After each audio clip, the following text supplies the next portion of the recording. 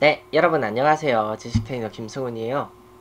그 사실 한능검이 제가 작년 8월에 한번 기출 문제를 봤었죠. 작년 8월에 한번 기출 문제를 봤었고 그 다음에 그 시험이 두 번이 더 있었어요. 작년 10월이 있었고 그리고 작년 1월이 있었 아니 이번에 1월이 있었어요. 아니 뭐 뭐냐 달나라님이 뭐 이번 이번 이번 달 하는 거 본다고 하길래 그래서 나중에 이 방송을 볼지 모르겠지만 어쨌든 그 하는 것 문제는 한번 그 오늘 나도 이 41회하고 42회는 본 적이 없어요. 내가 문제를 아직 안 봤었거든요. 그래서 제가 지금 그 문제지하고 정답표하고 다 받아놨어요. 문제지하고 정답표하고 그 history 의장점.go.kr 들어가면 누구든지 받아서 풀어볼 수 있으니까요. 예. 뭐 누구 누구들 누구에게나 다 공개돼 있어요. 예, 공개돼 있으니까 이 한 번씩 풀어서 보기를 권장을 할게요. 자, 한번 1번 문제는 항상 선사시대 문제가 나와요. 1번은 항상 선사, 선사시대 문제가 나오는데 그 여주 흔합리는 나도 처음 들어본다? 왜냐면 내가 기억하는 선사 유적은 보통 그 강동구 암사동이라든지 강동구 암사동은 신석기고요. 저기 연천 전, 전곡에 가면 구석기가 있어요. 연천 전곡에 가면 구석기 유적이 있고요. 하여간 그런 이제 유적지가 있어요. 그 유적지에 가면 그 이제 가시대 한강 유역의 대표적인 유적이다. 자 그리고 20여 개의 집자리 민문이 토기 반달 돌칼이 출토가 됐대요. 토기 안에서는 네, 쌀 겉벌이 조수수가 발견돼서 벼농사가 이루어졌으면 할수 있다. 자 선사유적 음 선사유적은요 왜 선사라고 하냐면요 선사시대가 있고 역사시대로 있어요. 우리는 흔히 역사를 알고 있잖아요. 선사의 기준은요. 기록으로서 남아있지 않는 역사예요. 기록으로서 남아있진 않지만 그 선사시대의 그 어떤 어떻게 생활을 했는지만 우리가 알 수 있는 거예요. 선사시대에 어떤 사건이 있었는지 솔직히 알 길은 없어요. 문자를 안 썼으니까. 선사와 역사의 기준은 문자를 쓰느냐 안 쓰느냐 그거에 따라서 달려있는 거예요. 역사로 기록이 안 돼 있으니까. 다만 우리가 이 선사시대 유적을 구석기 시대냐 신석기 시대냐 청동기 시대냐 이거를 알 수 있는 방법은 있어요. 유적을 발굴을 해요. 유적을 발굴을 하면요. 뭐 반감기? 하여간 뭐 그 시대가 어느 정도 되는지 알, 알아볼 수 있는 거는 뭐 기계 판독을 하는 게 있나 봐. 나는 내가 발굴을 안 해봐서 그것까지 직접 만져보진 않았는데 하여간 그거를 통해서 어느 시대쯤 됐고 이게 몇 년 묵은 거냐 이런 걸 계산을 할 수가 있어요. 그래서 이게 알 수 있는 건데 그래서 나온 게 이 흔합리 선사유적에서는 일단은 여주 흔합리는 내가 처음 들어봤어요. 그 처음 들어봤는데 민무늬 토기 반달 돌칼 자 민무늬 토기하고 반달돌칼 하면 일단은 청동기 시대라는 걸 알 수 있어요. 빗살무늬 토기가 신석기예요. 그래서 음 토기 안에서는 이 이제 일단은 동굴이나 강가에 막집은 구석기고요. 일단은 계급이 없는 평등한 공동체는 신석기까지. 청동기 시대 때는 계급이 생기고 그 종교 뭐 이런 종교 행사 같은 거만 하고 청동기 시 이 고대 문명의 필수 성립 조건이 있어요. 청동기 쓰고 문자가 있어야 되고 그리고 또, 또 하나가 뭐가 있어야 되는데 청동기를 써야 되고 문자가 있어야 되고 하여간 그 조건들이 있어요. 그게 바로 그 문명 성립의 조건이에요. 근데 청동기로도 볼 수 있고 철기로 볼 수도 있어요. 음. 어쨌든 그리고 음, 중국 화폐를 썼다. 중국 화폐에는 오수전이나 게 아니고 이때는 명도전이라고 있었고요. 그리고 가락바퀴를 쓴 거는 신석기. 그리고 이제 고인도를 축조한 것이 바로 이제 청동기 시대. 정답은 4번이죠. 네. 흔합니? 여기는 이제 진짜 내가 처음 들어본 데고. 음. 그나저나, 네. 한번 쭉 내려볼게요. 감스트님 방은 이따가 내가 그 유튜브나 유튜브나 한번 들어가 봐야지. 왜냐면 그 뭐냐 펌프 그 삐밴즈 그 상현 씨가 지금 뭐냐 가서 방송을 하고 있더라고. 아 캡처를 이렇게 했어? 오케이. 음. 캠을 캡처를 했네. 저렇게. 오케이 됐어. 음. 그리고 가인물에 대한 설명. 연왕 노관이 하늘 배반하고 흉노로 들어가자 가도 망명, 망명했다. 위만이죠? 천여 명을 모아 상투를 듣고 오랑캐 복장을 하고서 동쪽으로 도망하여 요새를 나와 폐수를 건너 진의 옛 땅인 상하장에 살았다. 음. 아 연왕 연왕이 흉노로 들어갔어? 어... 아 이 시대가 그거다 이제 진나라가 망하고 그 진나라가 망하고 이제 그 유방이 그 이제 뭐냐 토사구팽을 하던 그 시대였어요. 그래서 하늘 배반하고 흉노로 들어간 거야. 그래서 이제 위만 일단 기억은 맞죠?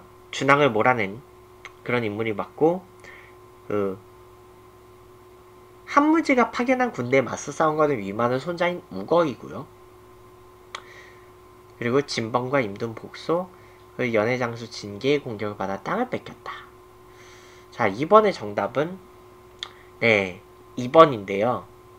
음, 기억과 티귿. 그러니까 위만은 여기서 땅을 받고 그 세력을 확장을 하고 그 다음에 이제 준왕을 몰아냈죠.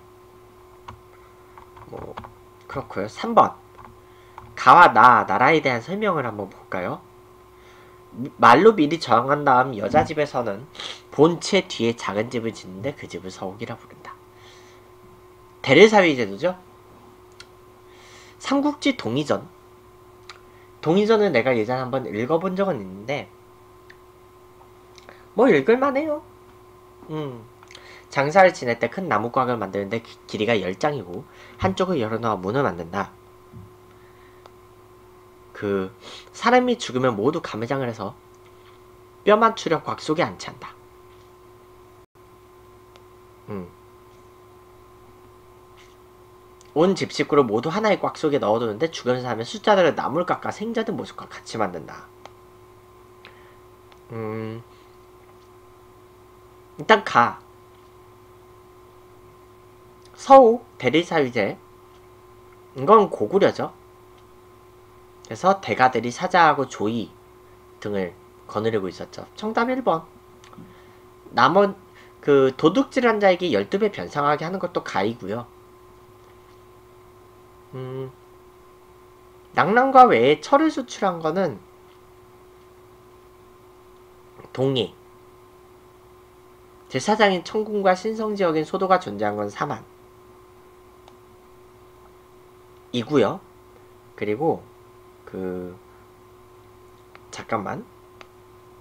그래서 소도이고요. 지금 내가 뭐 좀 찾아보느라. 그 가끔 필요하면요. 제가 그 팩트 체크 차원에서 검색을 해볼 거예요.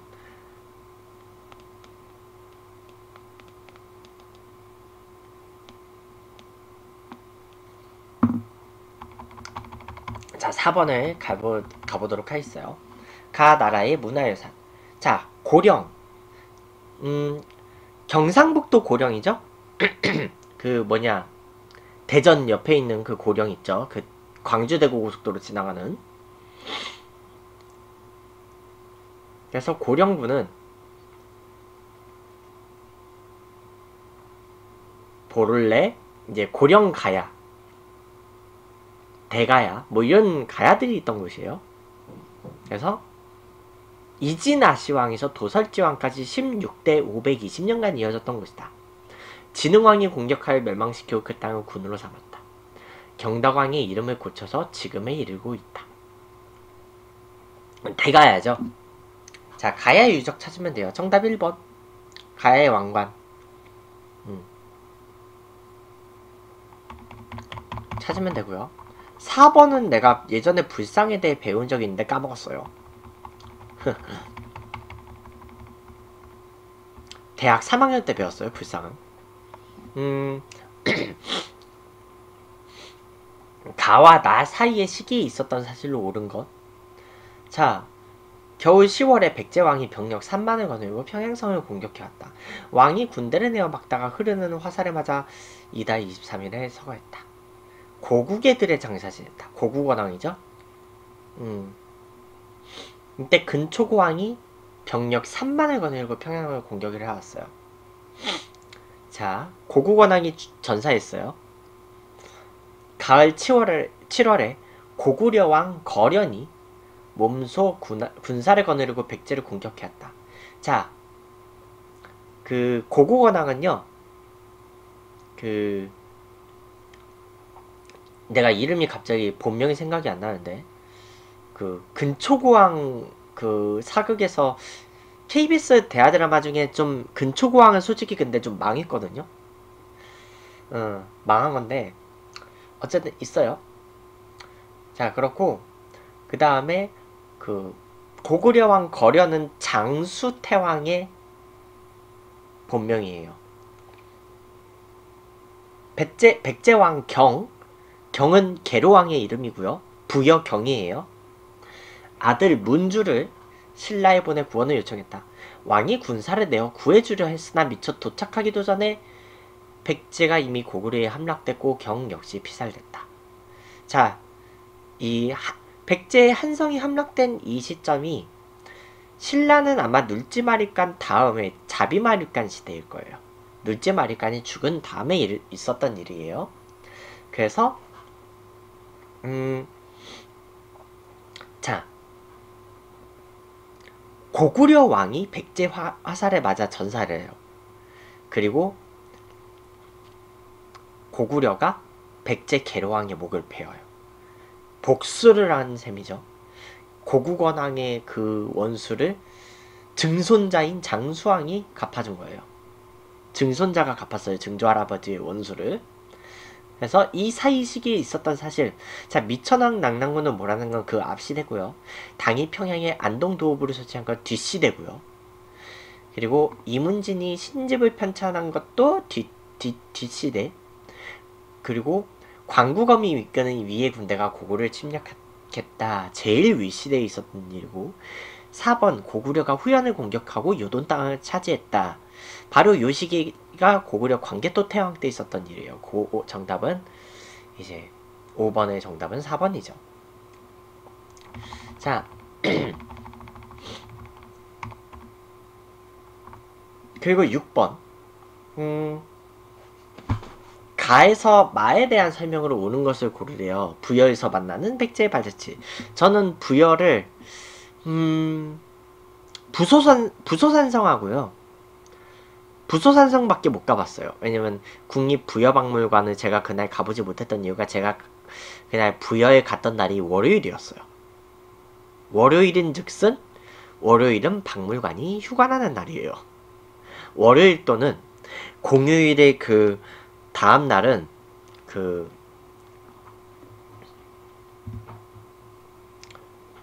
박물관이 쉬죠. 월요일이 공휴일일 경우 박물관은 화요일에 쉬어요. 뭐 어쨌든 그렇고요. 음, 부소산성, 관북리 유적, 정림사지, 국남지, 능산리 구분. 자, 일단은 제가 부여는 제가 나중에 다시 한번 가볼 생각은 있어요. 그 부여는요, 그렇게 넓지가 않아요, 유적이. 어쩌면 공주보다 더, 그, 공주보다 더 짧을 거예요. 그 거리가. 그 공주보다 그 범위가 더 짧을 거야. 제가 공주하고 부여는 내가 한번 그 하루 단위로 좀 그 여행을 해볼 생각은 있어요. 뭐 하여간 그래요. 하루 단위로 여행할 생각은 있기 때문에 대신에 공주 한번 따라가고 부여 한번 따라가야 돼요. 내가 하루 안에 두 군데 다 가기는 힘들 수도 있어요. 아, 시외버스 타고 이동하면 되려나? 근데 방송이 중간에 끊어지잖아. 뭐 그렇단 얘기고요. 음. 그리고 백제 유적은 사실 그 공주는 고속버스로 갈 수 있고 부여는 시외버스로 가야 돼요. 그래서 여기 시외버스 터미널에서 그렇게 뭐 다들 뭐 그렇게 많이 안 떨어져 있어요. 음 그렇고요. 음 일단 마 능산리 구분 조금 머네. 일단 그렇고요. 그래서 음, 이 부여는 근데 궁터는 안 보인다. 그 백제의 그 궁궐터가 남아 있는 데가 없어요. 공식적으로는 좀 더 밝혀져야지 나오는데 그 백제가 한성이 함락당했을 때 일단 궁궐이 당연히 불, 불에 탔겠죠. 그리고 음, 그 다음에 이제 무엇이냐 부여 같은 것도요 아마 백제가 망했을 때 그 아마 불에 탔을 거예요 고구려 같은 경우는 모르겠어. 북한이 어떻게 복원을 시켜놨는지 모르겠지만. 하여간 백좀 삼국의 유적 중에서 일단은 남한을 기준으로 신라하고 가야가 오히려 남아있고요. 그 뭐냐. 백제가 좀 그렇게 유적이 많이 남아있지를 못해요. 일단은 제가 그 전에 그 백제 유적 한번 겨울에 작년 겨울에 한번 빡세게 구경 간 적이 있죠 그 풍납토성, 몽촌토성 그 다음에 그 가랑로 따라서 쭉 걸은 다음에 음? 아마 그 가랑로일 거야. 가랑로 따라서 쭉 걷고 그 다음에 그 백, 석촌동 고분 아 방정 고분, 석촌동 고분 그리고 서울 놀이마당, 석촌호수, 삼전도비, 롯데월드 갔었죠. 그렇다고 하고요. 어,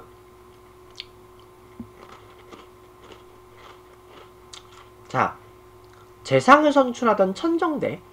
아, 맞아. 백제는 재상을 선출할 때 그 과정이 있었어요. 그, 천정대, 뭐 이런 데, 데다가 투표함을 놔둬요. 그, 백제 재상을 이제 좌평이라고 하고 원래 여섯 명 있었죠. 뭐, 여섯 명 중에는 원래 내신 좌평이 조금 좀 총괄하는 좌평이었는데,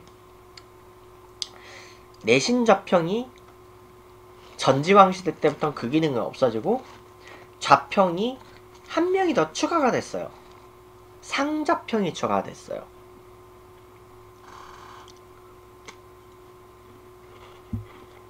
백제 금동 대학로가 발굴됐다. 그리고 5층 석탑이 남아있다. 정림사지 5층 석탑 있죠. 나무 주사위가 있다고? 국남지? 주사위 굴리러 가야 되나요? 자, 그리고 마. 무령왕 부부의 무덤이 발견됐다. 자, 무령왕의 무덤은 부여군에 없죠. 공주시에 가야지 있죠. 자, 무령왕을 제가 가봤기 때문에. 음. 그래서 나중에 공주하고 부여는요. 여러분들 그 여행 가시려면 방학 중에 가지 마세요. 방학 중에는요. 방학 숙제 하려고 오는 학생들이 많아. 그래서 막 아줌마들이 막 애들 데리고 음? 공주하고 부여하고 막 이런데 막 그 구경 온 사람들 많아요. 음. 그래서 저는 그냥 아 5월에도 가면 안 되겠구나. 4월하고 5월에도 못 가겠네요. 어차피 4월에는 내가 그 대한민국 100주년 때문에 상하이에 갈 거니까 일단 상하이에 갈 거고요. 음, 그래요. 상하이에 가면 돼. 4월에는 상하이에 가고 음, 5월에 음, 수학여행 시즌 끝나고 가자.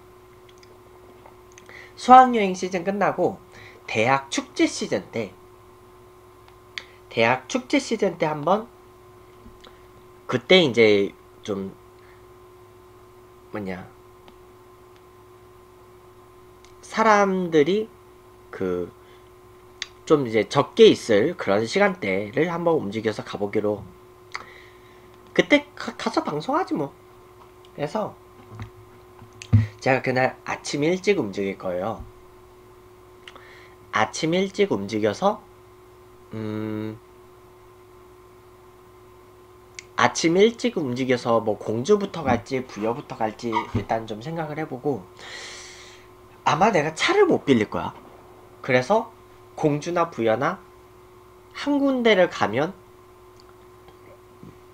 걸어 다녀야 돼요. 에이, 하루하루 나눠서 따로 가자. 음. 나눠서 따로 가고요. 그게 낫겠다. 음.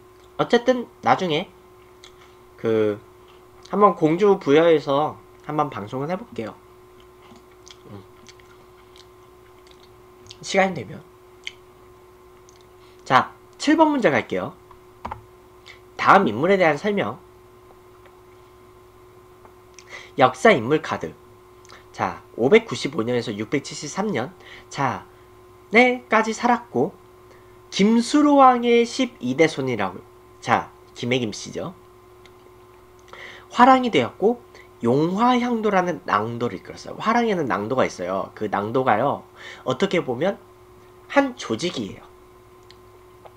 그리고 김유신이 그 용화향도는 김유신하고 김유신의 동생인 김흠순이 리더였어요. 김유신하고 김, 김흠순이 리더였고 그 뭐냐 비담과 염종의 반란 진압했죠. 이, 과, 이 과정에서 이제 선덕여왕이 이제 병으로 그 죽었고 이제 무열왕의 딸, 딸인 지소부인하고 결혼을 했어요. 자 무열왕의 딸인데 김문희의 딸이 아닌 김보희의 딸이에요. 그 원래는 김보희가 언니고 김문희가 동생인데 서열은 김문희가 더 위에요. 왠지 아세요? 무열왕 김춘추하고 사이에서 김문희가 애가 더 먼저 생겼어요. 속도 위반으로 결혼한 거 아시죠? 음. 김문희가 속도 위반으로 먼저 결혼을 하게 돼가지고 먼저 애가 생긴 덕분에 더 윗서열을 됐어요. 원래는 김문희가 둘째 부인이었는데 둘째 부인 김보희가 셋째 부인이었는데 그 대하성에서 전사했던 고타소로 나왔던 부인이 일찍 죽어요.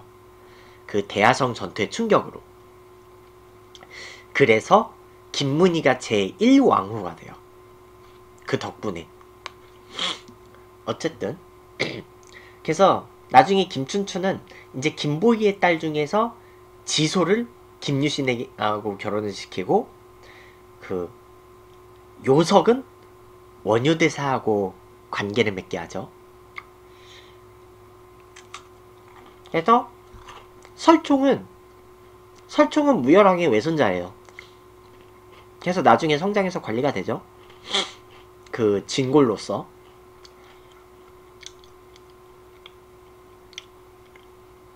귀족이죠, 설총은. 음. 자, 그리고요. 음, 매수성 전투.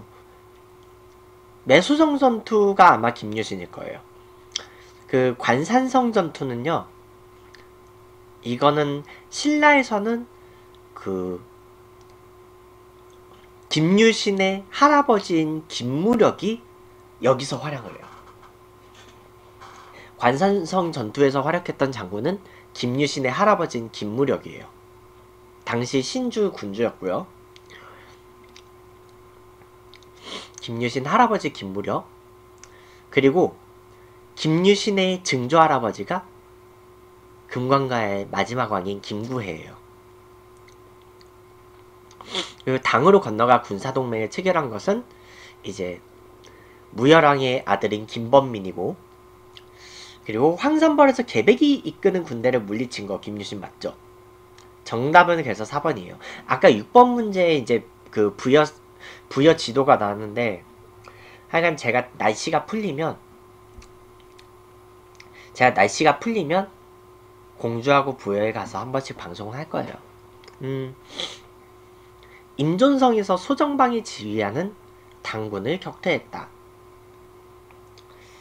임존성에서 격퇴한 거는 그 백제 부흥운동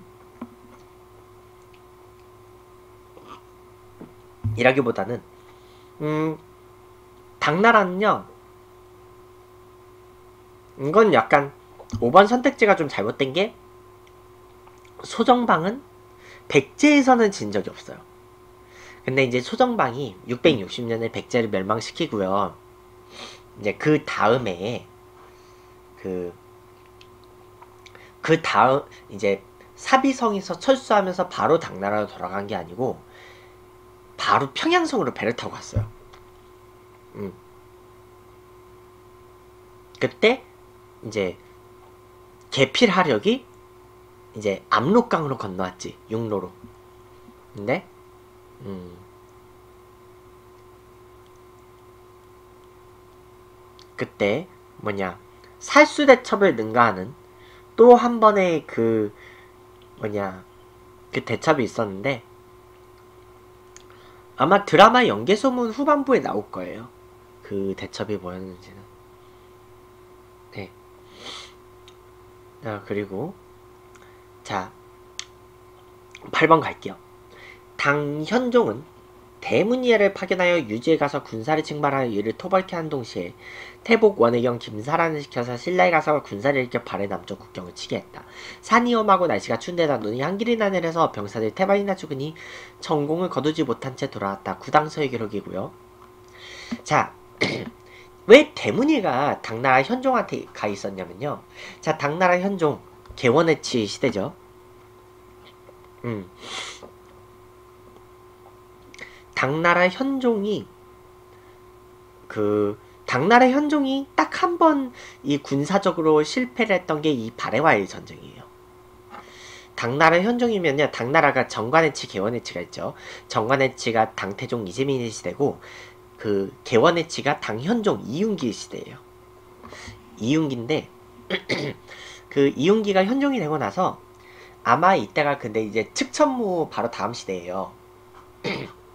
측천무 시대의 황제 잠깐 그 뭐냐 중종 그 중종 있었고 그 다음에 태자 한 명 있었고 그 다음에 예종 있었고 그 다음에 현종이거든요. 근데 현종은 고종의 손자예요. 현종이 고종의 손자고 그때 이제 경쟁을 하던 인물이 그 역시 고종의 손녀인 태평공주가 있었어요. 측천무 딸이었고요. 측천왕제 딸이었는데 어쨌든 측천의 다음 시대가 이제 개원해진데 그 뭐냐 그 이때 그 발해가 두 번째 왕이에요. 무왕이라고 대무예예요. 대무예하고 대문예가 원래 형제인데 음, 대무예가 그 뭐냐 흑수말갈 그 발해 북쪽 영토에 있던 흑수말갈 말갈들의 그 일부 지역인 흑수말갈을 이제 거기가 이제 당나라가 그 다스린다고 하니까 그 무왕이 흑수부를 정벌하겠다 했었는데 그러면 당연히 당나라가 쳐들어올 거 아니야. 싸웠어요. 근데 이때 그 대문예가 그 뭐냐 대문예의 뜻에 반대해 가지고 당나라로 망명을 했던 상태였어요. 그래서 음 대문예는 그 유주성에 가서 이제 발의 그 서쪽 전선을 싸웠고요. 근데 아마 흑수말갈의 합세로 겨우겨우 그 발해가 이제 그 서쪽으로 오는 걸 막았을 정도고 오히려 당나라의 해군이 그 산동반도에 있는 등주성으로 갔어요. 산동반도에 있는 등주성을 점령했고요. 철수했어요. 그리고 신라가 이때 김유신의 아들이 원술은 아니에요. 김유신의 아들이 이 평양성까지 갔는데 눈이 내려가지고 병사들 태반이 죽었어요. 하여간 뭐 그랬다 그래요. 그래서 발에는 장문유가 등주를 공격을 했고요. 그 정답은 1번. 대흥이라는 독자적인 연호를 쓴 거는 아마 발의 열 번째 군주인 선왕일 때일 거예요. 자, 그리고 그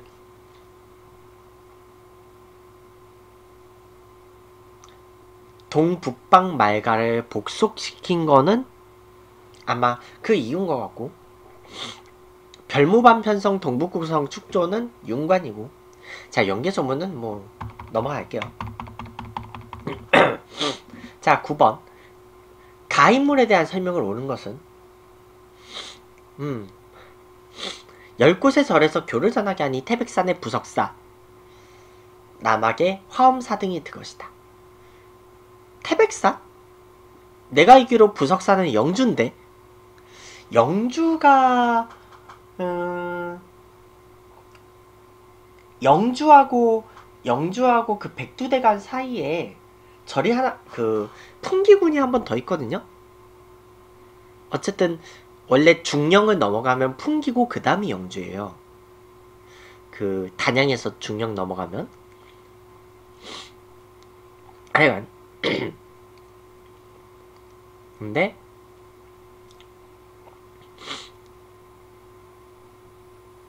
법계 도서인을 짓고 아울러 간략한 주석을 붙여 남학의 화엄사 네, 화엄사는 지리산이죠? 음. 1승의 요점을 모두 기록했다. 법계도는 총장 원년 무진에 완성됐다. 일단 부석사는 영주에 있고요. 태백사는 글쎄요 일단 9번 정답은 5번이래요 현세 고난에서 구제받고자 하는 관음신앙 네, 강조를 했다. 제가 불교 쪽은 조금 불교 쪽은 약간 지금 머리가 정리가 안 돼 있어요. 그러니까 이게 역사가 범위가 이제 워낙에 넓으니까 음,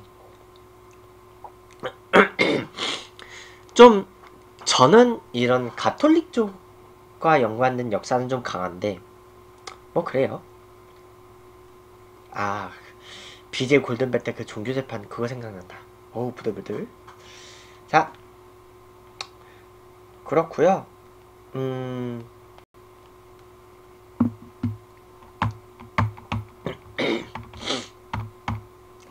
자 10번 갈게요. 가 나 사이 시기 있었던 사실로 옳은 것은 자 웅천주 도독 헌창 네 김헌창이에요. 아버지 주원 김주원이 왕이 되지 못함의 이유로 반란을 일으켜 국고를 장하냐라고 영혼을 세워 경운 원년이라 했다. 무진 완산 청 사벌의 네개주 도덕과 국원경 서원경 금관경의 사신 여러 군년의 수령을 협박해 자기 소속으로 삼았다. 신라의 서남쪽 지역을 그 웅천주 웅천주면 공주예요. 그쪽을 장악을 했는데 한 달 만에 무너져요. 이 한 달 만에 무너지고요. 이때 진압에 활약을 했던 장군이 신무왕의 아빠인 김균정이에요. 음. 신무왕의 아빠인 김균정. 진성왕 3년 진성여왕이에요. 나라 안의 모든 주군에서 곡물과 부세를 보내지 않아 창고가 비고 재성이 궁핍해졌다. 왕이 관리를 보내 독촉하니 곳곳에서 도적이 벌떼처럼 일어났다. 이때 원종과 애노 등이 사벌주를 근거지로 반란을 일으켰다. 원종과 애노의 난이고 이때 이제 근데 이때 사벌주, 상주 이 지역에서 원종과 애노는 결국 반란은 실패를 했는데요. 그 실패했는데 이 같은 지역에서 아자개가 일어나죠. 네. 아자개가 일어났고 그 뭐냐 아자개는 그, 그 지역에 있다가 나중에 고려로 들어간다는 얘기가 있어요. 10번의 정답은 이 시기. 자, 김원창의 나는 신라 헌덕왕 때 있었고요. 그리고 진성왕 3년, 음, 진성여왕 이 시기에 왕의 장인인 김운돌이 반란을 일으켰다는 그 전시대고요. 그 전제군주가 강력했던 그 시대에 있었고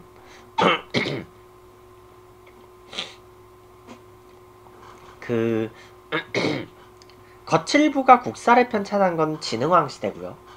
병부를 설치할 지배체제를 정비했다. 병부가 설치된 거는요. 음, 삼국시대 때예요. 어. 그리고 그 문무왕도 무열왕 시대 때는 그 무엇이냐 그때 그 병부령을 맡았었어요. 그렇다 시기 알고요.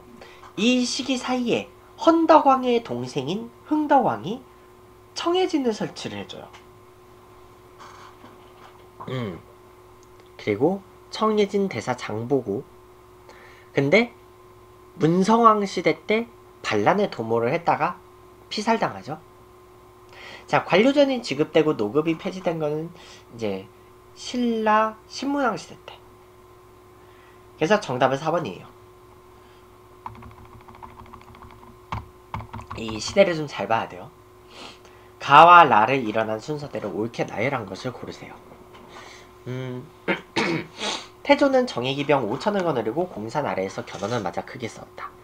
태조의 장수 김락과 신순겸이 죽고 모든 군사가 패했으며 태조는 겨우 죽음을 면했다. 이때 신순겸, 김락, 김원, 전이갑, 전의갑 형제 모이 다 죽었죠. 음. 포정전. 나중에 내가 개성에서 방송하게 되면 저기 포정전 내가 가볼 거야. 음.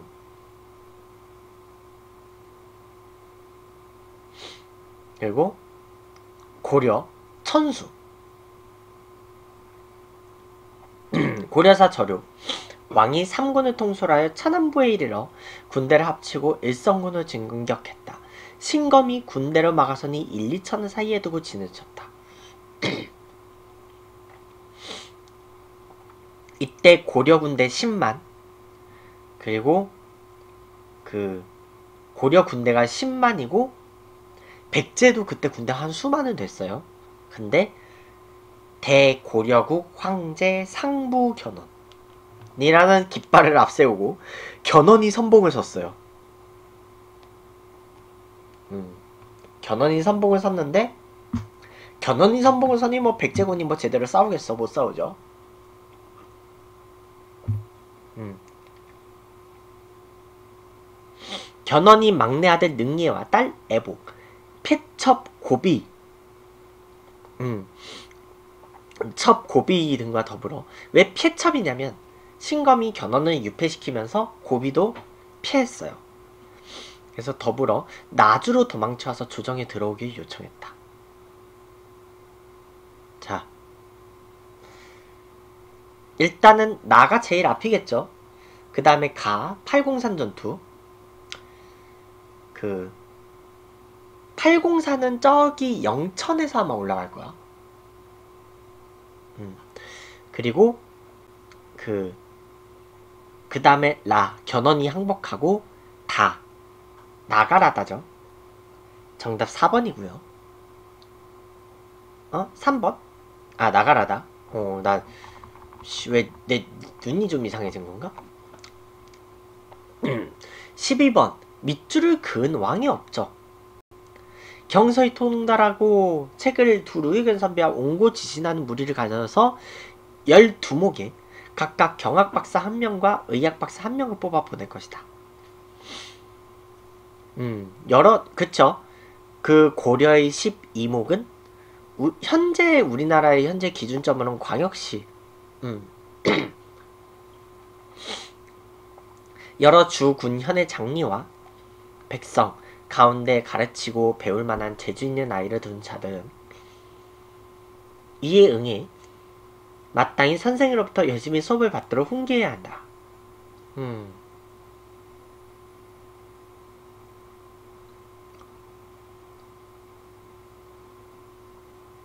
지방에도 학교를 세우는 거죠. 고, 국, 이제 국자감 말고도 지방에도 학, 그 학교를 세우는데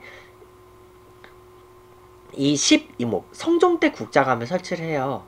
성종 때 만든 국자감이 있는데 이때 성 12목이라는 이게 지문에 나오면 그냥 성종 생각하면 돼요. 왜냐면 성종 때 이후로는 12목이라는 단위보다는 그냥 오도 양계 이런 행정 시스템이 더 그 활성화가 되거든요. 그래서 정답 4번. 시무 28조를 받아들인 게 성종이죠. 그래서 고려 전기에 사실 제도 확립으로서 그러니까 그 왕건은 삼국을 통일하고 그 다음에 광종은 과거 제도를 정비를 하고 그리고 그 이제 과거제도 실시를 하고 그런 경종은 과전법을 시행을 하고 그리고 이제 그 뭐냐 성종은 그 그런 이제 좀 융성하게 전기 시스템의 정비를 해요. 그리고 이제 현종은 그 거란과의 전쟁을 끝내고 그 다음이 이제 그렇게 그 대대별로 쭉쭉쭉쭉쭉쭉 그 뭐냐 좀 뭔가 정비를 잘 한 덕분에 현종의 아들인 문종이 잘 고려를 발전시킬 수 있었던 거지. 자, 13번. 아, 이거 50번까지 언제 가 이 속도로 가면? 음, 다음 사건이 일어난 시기를 연표해서 옳게 고른 것은 어차피 천천히 가도 돼요. 어차피 새벽 5시에 챔스 입중계 할 건데 오늘 토트넘이죠? 음. 남쪽에서 적들 남쪽에서 적들이 봉기했다. 가장 심한 자들은 운문을 거점으로 한 김삼이와 초전을 거점으로 한 효심이었다. 사람 이름이에요. 효심이 지극한 게 아니고 유랑민들을 불러 모아 주연을 습격하여 노락질했다. 최광수가 서경의 운거에 반란을 일으켜 고구려 흥복 병마사 금호이섭 상장군이라 작칭하고 막류들을 임명할 배치하면서 정의권을 모았다. 음, 이 시기는 보통요. 고려 시대에 반란이 제일 많이 일어난 시기가 있어요. 무신정권 시대에. 그래서 정답은 4번이에요.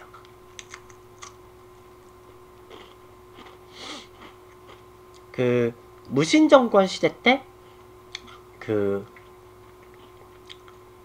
통제력이 약해져요. 그리고 무신들이 자기들끼리도 싸우는데 응? 뭐 지방 반란이 뭐 통제가 되겠어요? 심지어 최충원의 노비도 반란을 일으키는데 뭐 그렇고요. 음 14번 가에서 사신을 파견하여 낙타 50피를 보냈다. 왕은 가가 일찍이 바레아와 화목하다가 갑자기 의심하여 맹약을 어기고 멸망시켰으니 매우 무도하여 친성관계를 맺어 이웃으로 삼을 수는 없다고 생각했다. 그 드디어 교빙을 끊고 사신 30인을 섬으로 유배 보냈으며 낙타는 만부교 아래에 메어두니 모두 굶어 죽었다. 아 만부교도 나중에 가봐야 되겠다. 통일되면. 음, 에서 가. 거란이죠. 그래서 현종시대의 전쟁이 끝날 때까지 고려는 거란하고 적대 관계였어요. 잠시 성종 때, 성종에서 현종 때까지 강주의 난이 일어나기 전까지 잠시 외교를 맺은 적이 있었지만, 일단은 그 계속 경계를 했고요. 그 다음에 현종 때 휴전을 했고, 귀주 대첩 이후에 휴전을 했어요. 그 귀주 대첩 이후에 휴전했고, 그, 그 이후에는 아예 천리장성을 쌓아서 닫아버리죠. 자, 그러고요. 그리고 그 침입에 대비하여 광군 창설 정종이 만들었어요. 정종이 광군사, 광군 이때 창설 규모가 무려 30만이었거든요. 근데 이 30만이 나중에 강조가 통주성 전투에서 지면서 이때 다 털렸어요. 강조가 이제 죽으면서 이때 이현 그 부하인 이현운이 거란에 투항을 하면서 이때 다 털렸고요. 음 이때 다 털리고 현종은 그 이후에 나주까지 피난 갔다가 왔다가 다시 군사 20만 명을 다시 훈련시켜서 이때 거란을 무찌르죠. 화통도감 설치는 이제 고려 공민왕 우왕 때 최무선이에요. 그리고 진관 체제를 실시하여 국방을 강화했다. 이 국방을 강화한 것이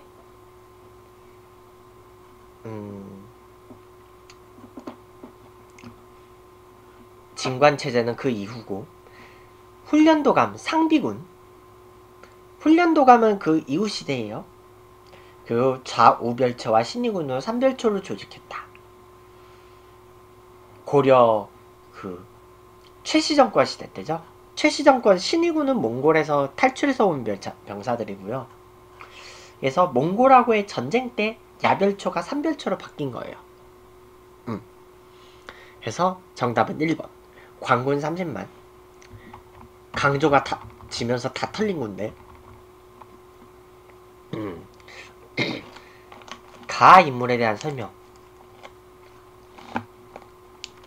문종의 아들인 의천대사죠.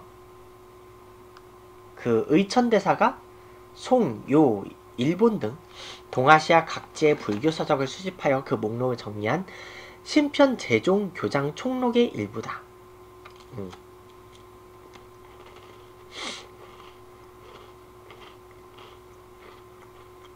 그렇고요. 그래서 의천 그 화엄 천태종을 창시를 했죠. 그래서 정답은 1번. 아, 해동 천태종. 음. 천태종. 하지만 의천이 입적하고 나서 천태종도 그렇게 기세가 쭉 그렇게 오래 가진 못해요. 고려에서도 선종불교가 유행을 하면서. 뭐 그래요. 그리고 16번. 음, 가나 대도에 대한 설명. 제술업, 명경업의 두 업과 의업, 복업, 지리업, 유럽, 서업, 산업 등의 잡업이 있었는데 각각 그 업으로 시험을 쳐서 벼슬게 나가겠다. 그 제술과 명경과 제술과가 그 논술 시험이고요. 명경과는 유교 경전에 관련된 시험이에요. 그리고 이제 의협, 복업, 지리협, 유럽, 서업, 산업 이런 건 잡과 시험이었는데 그 과거 시험이에요. 그리고 조상의 공로, 공음전 받는 자손들 있죠? 조상의 공로들은 그래서 조상이 한번 오품 이상이 올라가면요. 자손들이 주, 대대로 음서 혜택을 받아요. 반역을 일으키지 않는 한. 벼슬계에 나가는 자는 모두 나이 18세 이상으로 제한했다. 성인이 돼야지 나가는 거죠. 그래서 음, 자, 제가 한 여자의 자손은 응시에 제한을 받았다. 이건 조선시대에 생긴 거예요. 고려시대엔 그런 거 없었어요. 그리고 향리의 자제가 중앙 관직을 진출할 수 있었어. 음. 그러고 후주 출신 쌍계 건의로 시작된 게 그 가번이죠. 과거. 음서 혜택이 주어진 거는요. 아마 문종 때일 거예요. 그 문종 그, 그 전까지는 그냥 공을 세운 사람의 자손들이었는데, 문종 때부터는 5품 이상의 그 관료들의 자제들한테 전부 다 열렸어요. 그래서 사위, 조카, 외손자들도 음서 혜택을 받을 수 있었어요. 손자들까지 다 받을 수 있어서. 자, 그리고 만약에 손자들까지 혜택을 받죠? 그러면요. 그 음서 혜택을 받아서 올라간 사람들이 또 자손 대대로 업적을 세우면 얼마나 또 열심히 잘 공헌을 하겠어. 아, 물론 충신들은. 충신들은 다들 그 대를 태, 대대로 이제 그 길을 닦아놔요. 그래서 음 무엇이냐 그 보통 한 번 고려해서 문벌 귀족대로 들어가면요 대대로 3품 이상은 다 해요. 음. 그렇다고 하더라. 아 물론 과거 합격한 사람들을 좀 우대를 하긴 해, 하기 때문에 음서 혜택을 받더라도 과거를 보는 사람들이 있어요. 그래서 음서 혜택으로 만약에 과거에 급제를 하죠? 그러면 벼슬이 올라가요. 그리고 그 과거에서 붙은 그 사람들 중에서도요. 1등은 제일 위에서 시작해요. 그러니까 뭐 1품부터 9품까지 있다고 싶으면요. 보통은 다들 9품부터 시작하고 막 8품부터 시작하고 그러는데 장원급제하면 아마 7품부터 시작할 거예요. 6품이나 7품부터. 어, 그, 그래요. 자, 가에 들어갈 사진. 문화유산을 통해 본 고려와 몽골의 교류. 음,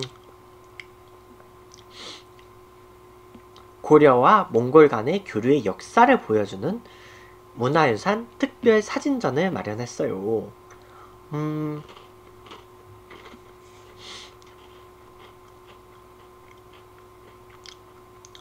고려와 몽골의 교류? 젠장. 가에 들어갈 사진. 천산내력도. 송광사 티베트문 법지. 아니 티베트문 법지까지 내가 어떻게 하냐고 이걸.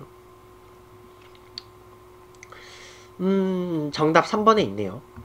근데 이 사진들은요 제가 배울 때는 없었던 내용들이에요. 제가 배울 때 없었던 내용들이고 이거는 계속 연구가 필요한 것 같아 요즘 문화사 이런 쪽은요 계속 연구를 해야 돼요. 사회경제 시스템까지는 제가 어느 정도 아는데 이게 문화사 같은 경우는 계속해서 이 사진들을 입수를 해야 돼요. 어쩔 수가 없는 부분이에요 이건. 자 18번. 가화폐가 발행된 시기의 경제 상황을 오는 것을 고르세요. 자 왕이 이르기를 금과 은은 천지의 정수이자 국가의 보물인데 근래의 간악한 백성들이 구리를 섞어서 몰래 주저하고 있다. 위패를 만드는 거죠. 위패는 불법이에요. 자 지금부터 그래서 모두 표지를 새겨서 이로써 연구한 법식으로 삼독하라. 어기는 자는 엄중히 논하겠다. 음. 그래서 이때 비로소 가를 화폐로 쓰기 시작했다. 그 제도는 은 한 근으로 만들어 본국의 지형을 본뜨도록 했으니 속칭 활구라고 했다. 가 화폐가 발행된 시기의 경제 상황. 18번. 그래서 정답은 2번이래요. 경치서가 수도의 시선을 감독했다. 그 고려 시대 때 고려 숙종 시대 때 처음으로 그 우리나라는 화폐를 만들어 쓰기 시작했어요. 근데 이때 화폐는 우리는 그때까진 지폐는 없었어요. 지폐는 없고 이따만한 동전을 만들었어요. 뭐 그랬단 얘기예요. 자, 19번. 밑줄을 그은 이 왕이 업적으로 오른 것은 동네 선생 교정 북사상절의 일부로 문책 이름이 길어 이 왕때 주자소에서 제작한 개미자를 이용해 가능됐습니다. 자, 주자소 조선시대 전기에 그활 인쇄수 인쇄를 맡았던 공공 그 국가 기관이에요. 주자소 터가 있고요. 그리고 개미자, 개미년을 만들어서 개미자라고 부르는데 개미자는 조선 태종시대 때 만들어진 활자예요. 그 세종시대 때는 경자자, 갑인자, 그리고 정인자가 만들어져요. 경자자 때는 그때는 장영실이 데뷔를 안 했을 때고 그리고 이제 갑인자를 만들 때는 이때부터는 장영실의 기술이 들어가요. 뭐 그렇고요. 음, 장영실이 기술자로서는 굉장히 성공했었지. 자, 19번의 정답은 2번. 문화부 낭사를 분리해서 사관으로 독립을 시켰어요.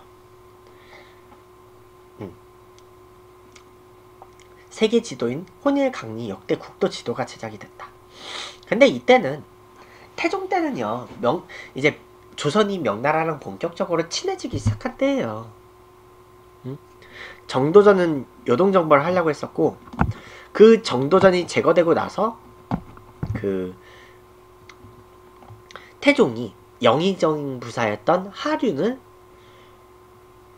그 하륜을 이제 글로 보내요. 하륜을 이제 그 명나라의 사신으로 보내서 이제 조사인한테 좀 도움을 요청을 해요. 그래서 그 그때 태종 때 명나라 황제도 그 방황하고 좀 이, 약간 그래도 인연이 있었던 그 명나라의 성조 영락제거든요. 태종 때 황제가 그 영락제인데 음 그래서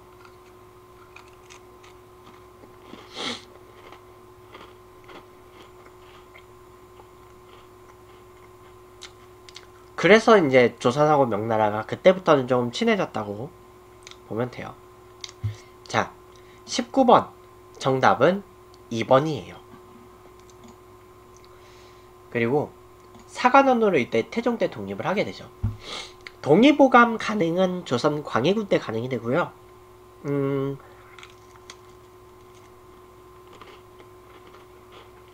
경국대전의 반 완성은 예종이고 반포는 성종.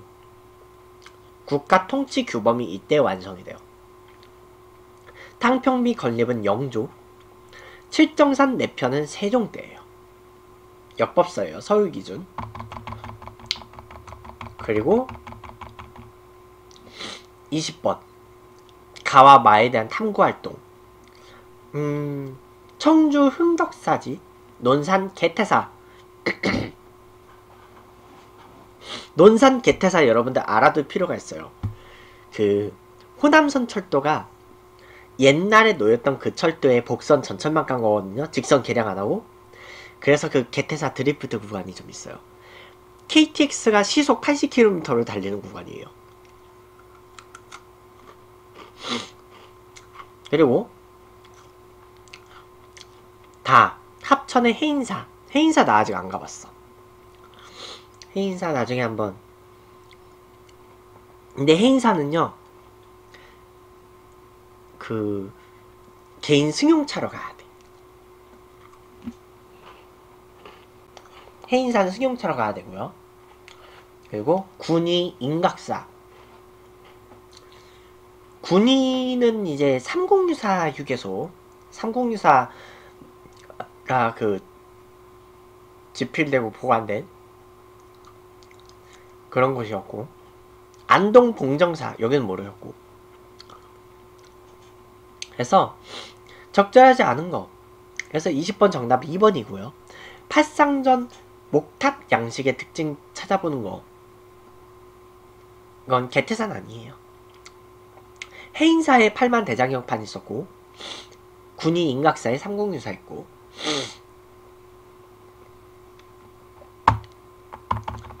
그 삼국유사 군의휴게소라고 있거든요. 그 상주 영천 고속도로에 가면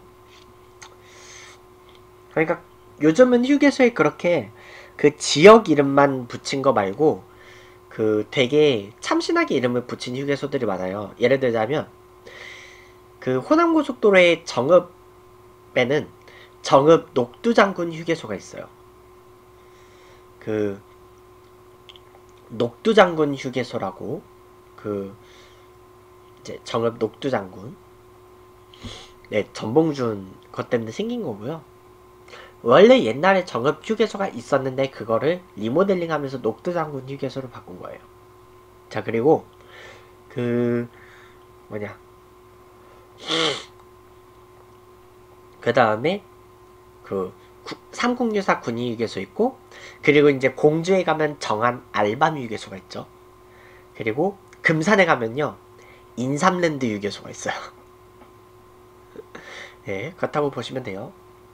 그리고 이제 문화유산에 대한 설명으로 오는 것은 자 유네스코 세계유산이고 그 왕실의 정통성을 확립하고 효를 실천하기 위해서 한양으로 천도하면서 가장 먼저 짓기 시작한 공간이다. 건축물들은 임진왜란 때 소실되어 1608년에 중건됐다. 정전은 그 국보 제227호 경복군이죠. 정전이면 근정전이죠. 영영전은 보물 821호 1995년 그 유네스코 세계유산에 등재됐다.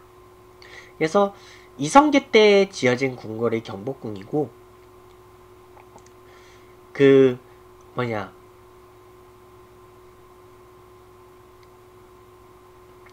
1608년 중건 21번 음.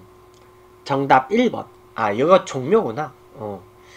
어쩐지 경회로가 없었어 경복궁 하면 경회로인데 경회로는 그 뭐냐 연못 연못 만들어 놓고 거의 누강 그 뭐냐 건물 하나 만들어서 그 위에서 음? 파티하는 데잖아 어쨌든 그래서 역대 국왕과 왕비의 신주가 모셔져 있으면 그건 종묘예요. 근데 이제 요즘 종묘하고요. 종묘하고 창덕궁하고 그 약간 그 길 있는 공사를 하고 있잖아요. 여러분들 그 율곡로 가보시면 알지만 거기 지금 그 공사하고 있죠? 그 원래 도로가 있는데 거기 지금 터널로 만들고 있죠. 예. 거기를 지금 터널로 바꾸는 이유가 그것 때문이에요. 그 거기를 터널로 만드는 이유는 바로 그 이제 그 약간 산 서울 도심의 그 산줄기 있죠. 서울 도심의 그 산줄기 그 다 있는 그 공사 때문에 그 막 도로에 막 터널 생기고 막 그런 건데 그 이제 그런 줄기 있는다고 이제 종묘하고 그 북쪽에 창덕궁하고 있고 있어요. 네, 지금 그렇고요.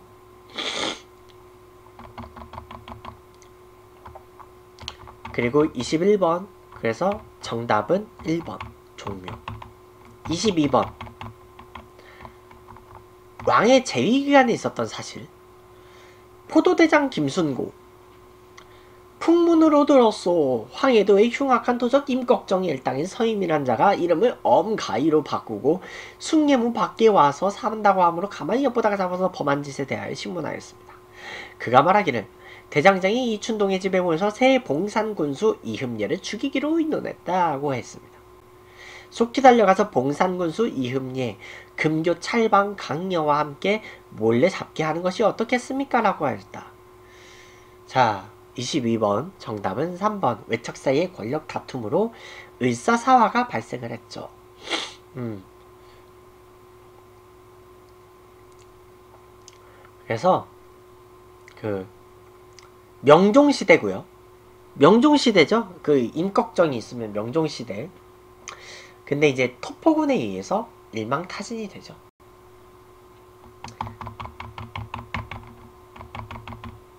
자, 23번 갈게요. 밑줄을 그은 국문교서가 발표된 이후의 사실. 의주로 파천. 자, 선조죠. 국문 교서. 왜군에게 잡혀가 협조한 백성의 죄는 묻지 않으며 그 왜군을 잡아오거나 포로가 된 우리 백성을 많이 데리고 나오는 사람에겐 벼슬을 낸다는 내용이 적혀 있다. 그 그치 지금 죄는 묻지 않는 게 맞죠. 그래서 23번 정답은 1번. 그 이후 그러니까 의주로 파천한 구간 의주로 파천을 하고 교서를 내렸기 때문에 그 이유를 뽑으면 돼요. 자, 2번 신립이 탕금대에서 배수의 진을 치고 항전하다 지고 자살하죠. 근데 그거는 파천하기 전의 일이고 이종무가 쓰시마 섬을 정벌했다. 이건 조선 세종 때 일이에요. 그 개해 약조가 체결되어 세견선의 입항이 허가됐다. 이거는 전혀 관련이 없는 거고요. 조선 정부의 통제에 반발하여 삼포해란이 일어났다. 조선 전기 일이고. 그래서 정답은 1번이에요. 임진, 임진왜란 그 7년 전쟁 그 시기에 있었던 예를 고르면 되는 거예요. 자, 그리 하고요. 그리고 24번. 다음 주장을 펼친 인물에 대한 설명을 오는 거. 이제 농사를 짓는 사람은 전지를 얻게 하고 농사를 짓지 않는 사람은 전지를 얻지 못하게 하고자 한다면 여전의 법을 시행할 나의 뜻을 이룰 것이다. 음.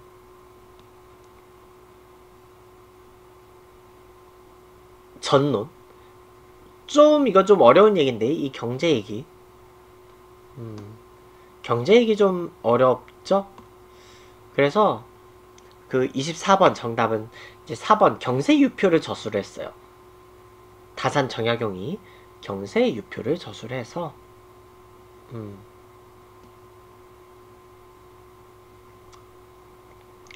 뭐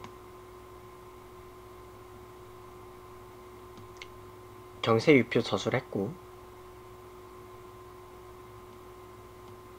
뭐 그랬단 얘기? 자 25번. 25번 갈게요. 밑줄을 그은 대책의 내용으로 오른 것 군포를 기준의 절반인 한 필로 구, 줄이는 법. 균역법이죠. 그러면 세입이 감소할 텐데 이를 보충하기에 마련된 대책이 무엇인지 궁금한의 결작을 찾으면 되겠죠. 자 그 결작은요 일단은 그 그래서 선무군관이라고 있어요. 선무군관은 군역의 의무가 있는 사람이죠.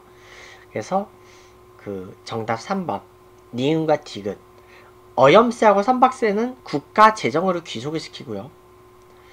그리고 이제 결자격으로 쌀을 더 대신 걷어들이는 그 법을 시행을 했죠. 그리고 26번 가에 대한 설명으로 옳은 것을 고르세요. 자, 이 페이지까지 하고 잠깐 쉴게요. 음, 가에 대한 설명. 그 26번 그 매년 정기적으로 통신사가 파견이 됐고요. 다녀온 여정의 연행록을 남겼다. 연행록은 내가 알려진 게 없고 하정사, 성절사, 천추사 이거는 나도 이거는 조선 통신사가 아니고 저기 명나라에 갔던 그 사전인 것 같고요. 사절 왕래를 위해 북평관께서 이거는 명나라 아니야? 일단 19세기 초까지 파견이 됐어요. 근데 일본이 개화한 이후에는 네, 통신사는 없었죠. 뭐 그랬죠. 그렇다고 하고요. 자, 그러면 그래서 조선 통신사 통신사에 대한 통신사에 대해서 나중에 한번 좀 컨텐츠를 한번 해보고 싶기는 해요. 자, 그렇고요. 자, 여기서 녹화를 끊고 잠시 쉬어가도록 하겠어요. 아니, 녹화가 한 70분이